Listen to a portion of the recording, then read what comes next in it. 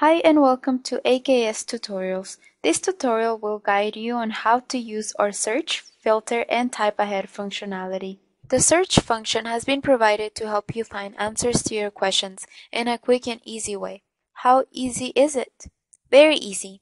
Type your specific question on the entry box and select to use questions and tags when your question is related to ABB system. For example, if you're searching for freelance system, just write freelance. Search will collect and display every thread having the word freelance. Search results will show tabs with all questions, open and closed questions. It will also show open questions in a separate tab and closed questions in another. Trying to find a specific user, please enter their username and select user.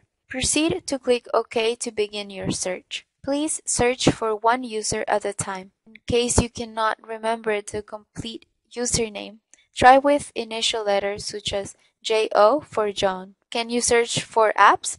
Absolutely. When looking for specific apps, you can type the title or ABB system the app is part of and click OK to start your search.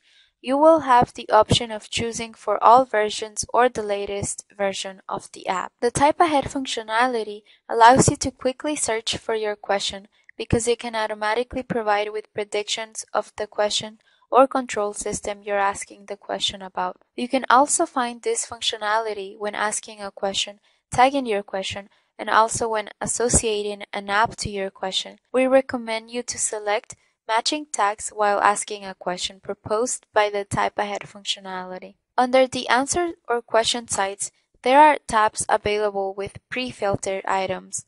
Drop down with all time selected filter for time with available pre-filters starting from day, months, or years to select custom time duration. If you are looking for any specific control system related information, then click on its tag where you can find questions or answers, people and apps related to the specific tab on the same page. By default, 10 threads are displayed per web page. User can view 25 to 50 threads per web page. It can be selected from Show Threads option. On the app page at the right hand corner, filters are available for browse by category and browse by type, as well as apps can be viewed through See All link. Apps can be viewed as image or as a list format. If you have more questions, please go to our help link where you will find more information. Happy AKSing!